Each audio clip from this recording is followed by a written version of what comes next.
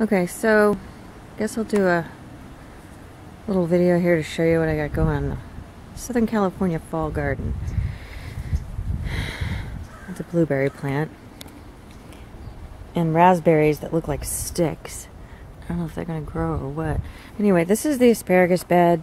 Um, I transplanted some of it from somewhere else. I don't know if it's going to come up, but there's a bunch of crowns in there down in here that I planted in these bare spots that hopefully will come up at some point.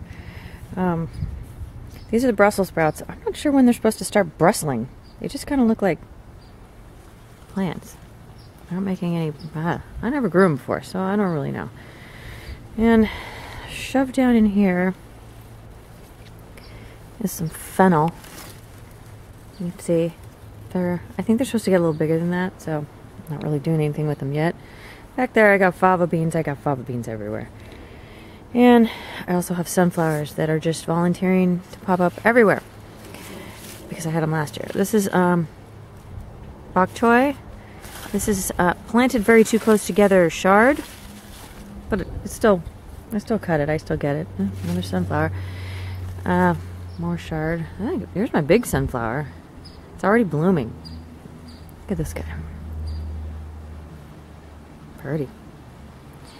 And parsnips, which I guess need to be in the ground a little longer because when I pull them out, they're still kind of really small. I got a bunch of spinach down there, another blueberry. And in this bed, sorry, making you dizzy, kale, spinach, lots of arugula. I kind of overdid it on the arugula. And these are kohlrabi which I don't know if I really like them yet. I had them. Oh, this one's a pretty nice big one. You like peel these things and slice them up and I don't know, stir fries, stuff like that. But they're purple, and you know I like anything purple. So more favas. And uh, what else did I have in here? Um, oh, all these pretty salad greens. And this is all the onions too, and, and garlic that's in here in between all that stuff. And these are some just really pretty salad greens. Again, I got excited with saw these. They're purple. I had to buy them. And all this lettuce is doing great. Just trying to eat it up. And then, ooh, look at this pretty lettuce. Isn't that pretty? I like that one. And so that's that bed. And uh, yeah, there's Buddha. That bed back there is just all fava beans. Well, not all fava beans. It's fava beans, which put, puts nitrogen into the soil, of course, right? That's why I had them. Right there is the parsnips. This is some more kale. That's the potato bed, which is doing really good. It's happy. It's not flowering yet, but it will. Um, it's kind of an odd time to do potatoes, but I realized that in the spring, when you would normally do them here, it just starts to get too hot. You know, they like it warmish cool, so they're doing good more asparagus that I was going to transplant like I did the ones over there. But uh, they don't like that, so I think I'm leaving those there. Radishes, weird onions, big old cabbage.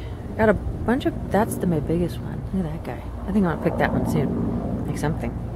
Look how pretty they are. More kale. Anybody want some kale? Carrots. I did a lot of carrots because you can never have too many carrots, I guess and my onions that are two years old and finally starting to bloom. These are green onions, and check this thing out. It's it's like as big as my leg. I don't know why they got so big. Maybe they always do that. I don't know. And then over there, this is the herbs, kind of in this little corner here.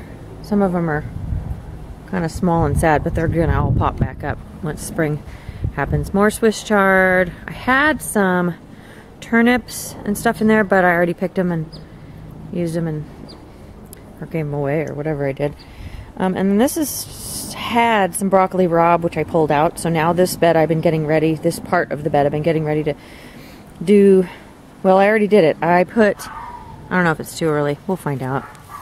A squash, two kinds of squashes there, which will pretty much fill up this whole corner.